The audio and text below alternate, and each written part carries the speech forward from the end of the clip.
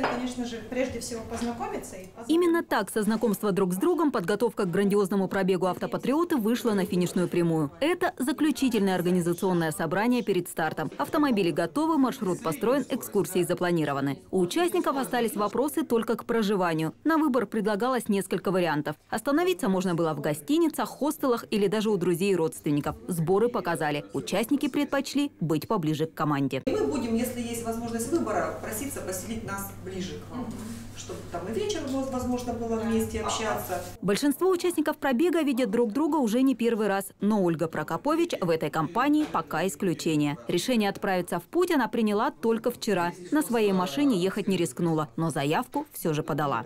Ксения мне дала телефон, сказала, у нас есть такой один как, участник, который едет один, и если он согласится вас взять, пожалуйста, и мы с ним созвонились, и вот я здесь. Мне интересно именно по России проехать. Я никогда не путешествовала по России, и еще в такой компании это просто удача, я думаю, это супер. Следить за передвижением участников пробега их друзья и родственники смогут на сайте автопатриоты.рф. Здесь будет отражаться текущее местоположение автомобилей, их средняя скорость, расход топлива, пройденное расстояние и другие статистические данные. С этой целью все автомобили пройдут специальный апгрейд. У нас остался один технический момент, если говорить про техническую часть. Это установка трекеров. Трекер – это небольшие приборы, которые будут отслеживать передвижение и перемещение участников нашего автопробега в реальном времени на сайте нашего телеканала. Вот это нам осталось сделать. И а, осталось приятный такой момент сделать фирменные наклейки, нанести их на автомобили участников для того, чтобы вся колонна выглядела организованно, правильно, так, как она должна выглядеть.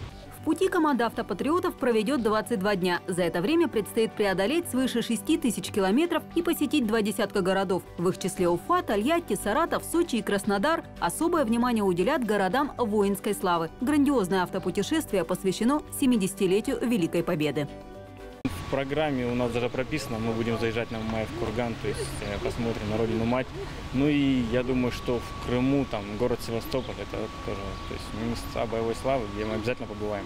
По маршруту автопробега будет составлена карта памяти, причем участие в этом может принять любой житель края. Достаточно поделиться своими семейными фронтовыми историями и дать наказ нашим автопатриотам. А может быть, ваши деды или прадеды воевали где-то, а может быть, сейчас покоятся в тех местах, где мы будем пребывать нашим автопробегом. Мы, конечно, обязательно почтим а, их память своим присутствием, своим визитом, привезем видео отчет с этого путешествия. В общем, любые нестандартные просьбы от жителей Красноярского края к нам могут поступать, и мы обещаем, что мы выполним все поручения. Пробег «Автопатриоты» стартует 15 августа. Ждать осталось чуть больше недели. Но если за это время вы решите к нашим героям присоединиться, достаточно просто позвонить, и вы тоже можете оказаться в команде.